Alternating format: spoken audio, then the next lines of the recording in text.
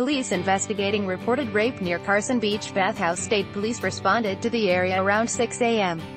Tuesday. A woman told police she was raped by a man at about 4.30 a.m. Tuesday near a Carson Beach bathhouse in South Boston. State police responded to the area around 6 a.m. After a passerby observed a woman in distress, according to a department release. Police said, based on their preliminary investigation, a group of people, most likely members of the homeless community, were gathered near the bathhouse, and one of the men present allegedly raped the woman. The woman was transported to Boston Medical Center by emergency personnel and remains hospitalized undergoing examination, according to police. Ad Choice Advertising and Red invented by Teads Police said the incident is under investigation and detectives are working to develop a description of the suspect.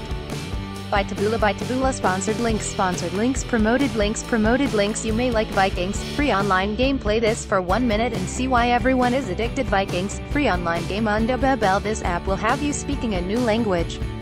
In three weeks, Bablando those 10 great cars that almost nobody buys Ados Undo Blinkist. This woman reads 100 books in a month. Blinkist Undo 10 likes 10 best smart home tech 10 like Undo Business Plus. 21 countries with the most powerful passports. Business Plus Undo